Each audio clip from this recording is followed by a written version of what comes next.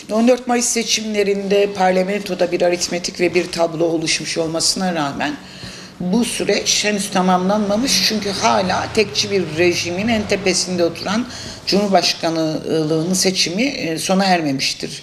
İkinci tura devretmiş olan Cumhurbaşkanlığı seçimi bu sistemin değiştirilmesi için açılacak kapının en önemli e, başlıklarından biridir. Dolayısıyla Türkiye toplum açısından değişme ve değiştirme e, sürecinin e, ayaklarından biridir. 28 Mayıs seçimi bu açıdan çok kritiktir.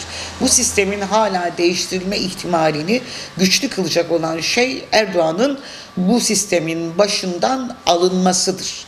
Dolayısıyla Erdoğan'ın 28 Mayıs seçiminde yenilmesi ve kenara çekilmesini gerektiren bir sonucu üretmesi lazımdır. Toplumun e, gelecek açısından aydınlık bir gelecek açısından umudunu diri tutacak olan şey sandıklardan çıkacak. Erdoğan yenilgisi e, olacaktır.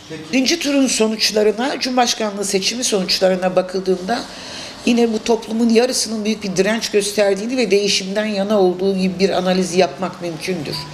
Yani orada 25 e, milyona yakın bir insan Cumhurbaşkanının değiştirilmesi gerektiğini söyleyen iradeyi beyan etmiş ama sistemin 50 artı 1 ile kilitlenmesi nedeniyle o sonuca ulaşılamamıştır. Şimdi ikinci tur bir yeni seçim gibi algılanmak ve bir referandum gibi düşünülmek zorundadır. Çünkü bu seçimle biz aslında sistemi oylayacağız. Bu sistemin devam edip etmeyeceğini oylayacağız ve her bir yurttaşımızın da bunun farkında olarak e, sandığa gitmesi ve oy vermesi gerekiyor. Bizim 28 Mayıs'a çağrımızın altında yatan en önemli neden bu ceberrut sistemin bütün mekanizmaları, kuralları ve kuralsızlıklarıyla o mekanizmanın tepesinde duran ve onun işleyişini devamlı kılan bütün simgeleriyle, şahıslarıyla değişmesi için 28 Mayıs'ın üreteceği sonuç çok önemli. Burada e, sistem min karanlık üreten yanının faşist zorbalığın devamından daha yoksullaşmaktan, işsizleşmekten, güvencesizleşmekten ve güvenli bir toplumsal hayat sürdürmekten, e, sürdürememekten muzdarip her yurttaş açısından değişime oy verilmesi gereken bir gündür 28 Mayıs seçimi.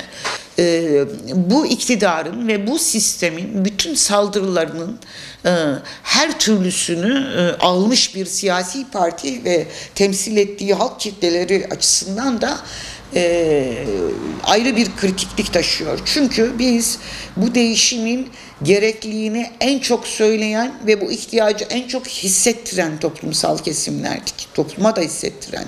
Bu e, sisteme direnen ve bedelini ödeyen toplumsal kesimlerdik. Kimlerdik? Kadınlardık, gençlerdik, Kürtlerdik, Alevilerdik. Dolayısıyla devamı halinde sistemin öfkesinin, nefretinin de yöneleceği toplumsal kesimler olarak iki kat sorumlu olarak sandığa gitmek zorundayız. Ve bir e, yenilginin yaşatılması, değişim arzusunun bizden ibaret olmayan bir genel toplumsal talep haline geldiğinin göstergesi olan sonuçların üretilmesi lazımdır. Propagandayı sıkıştırdıkları, e, bizim üzerimizden yaptıkları algıların hiçbir tanesine yenilmeden, e, bunların tamamının bir seçim propagandasında kendine e, yönelik bir hava yaratmak üzere e, kurulmuş bir senaryo olduğunun da farkına vararak bütün yurttaşlarımızı her şeye rağmen sandığa çağırıyoruz. Ben sevgili halkımıza seslenmek istiyorum. 24, 28 Mayıs seçimleri bir değişimin kapısının aralanması için hala büyük bir şanstır. Bu şansı Kürtler, kadınlar, gençler ve toplam bir toplumun lehine kullanmak için sandığa gidelim. Kırgınlıklarımız, küskünlüklerimiz, çeşitli propagandalardan etkilenme hallerimiz e, mümkün olabilir. Ama bilin ki iktidar zaten biz etkilenelim diye yapıyor bunu. Şimdi hepimizin ortak bilincinin şu olması lazım. Cezaevindeki arkadaşlara borcumuz var. Yurt dışında sürgün olan arkadaşlara borcumuz var. Geleceğinden büyük bir güvensizlik duyan gençlere borcumuz var. En çok ve en çok kadınları zapturapt altına almaya çalışan bir karanlık gelecek öneren e, bu iktidar blokuna karşı kadınlara borcumuz var. Kürt halkına borcumuz var.